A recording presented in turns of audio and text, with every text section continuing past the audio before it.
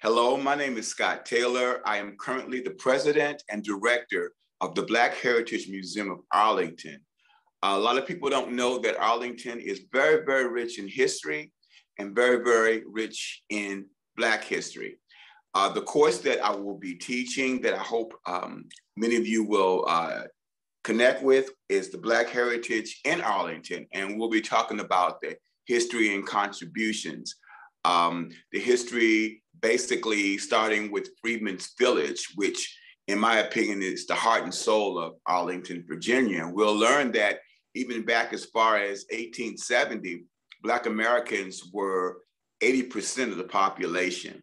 We'll talk about heroes like Sojourner Truth and Harriet Tubman, who came to stay in Arlington for a time.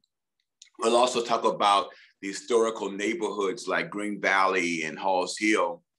Uh, we'll talk about some of the uh, demographics, and it'll be a thing where we can converse back and forth, ask questions, and learn.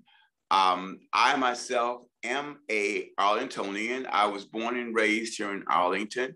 I went to Arlington schools. Um, I was raised in the Halls Hill area. So I'm very much a part of it, and I can speak from that perspective, which I think will be very exciting because there are a lot of hidden history that people uh, just don't know about. Uh, I, by being from Halls Hill, I was near Lee Highway, which is now Langston Boulevard, by the way. And that's where there were the lunch counter sit-ins. And we'll talk about some of the some of that, some of those events that I think will be very interesting.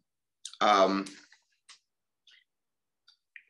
we're going to talk about uh, uh, the 20 sites. There's like 20 sites in Arlington, uh, which are like African American sites, like Muse, uh, Doc Muse's um, pharmacy and uh, Fire Station 8.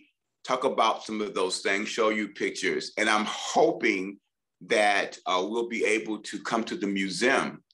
Uh, we started out as a virtual museum, but as many of you may know, we are now a physical museum with exhibits. So hopefully we can either have people come to the museum and uh, get a tour or we can do it online. I'm looking forward to uh, meeting everybody and telling you our story from our perspective.